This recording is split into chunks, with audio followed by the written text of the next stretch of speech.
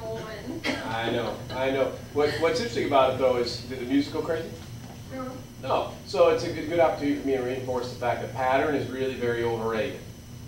Right? Pattern is important in fits and starts and in specific places, but in general, pattern's pretty overrated. Now, the, what happens when and if you find yourself in this spot? What I was looking and hoping you were going to do is just conduct kind of a one until you felt good about what was the real one.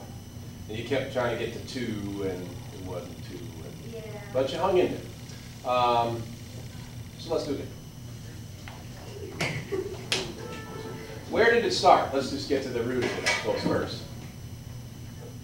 It's red, it's banana. Yeah, yeah. So what happened is you moved to one instead of four in that, after that breath. So that's what, that's where you got off the tracks.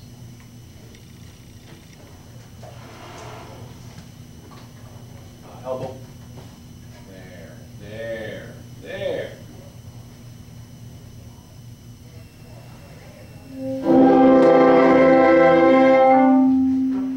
Rep is down and out with the breath. A lot of you still want to go up for some reason. There it is. That's all it takes.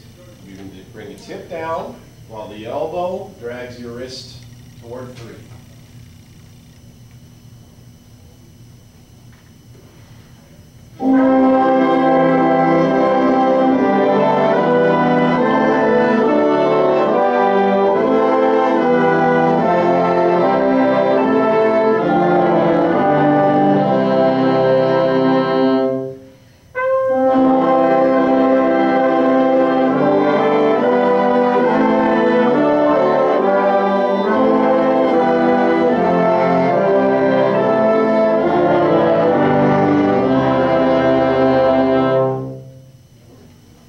So it was better, the fermatas got, because you were concentrating on what's going on next.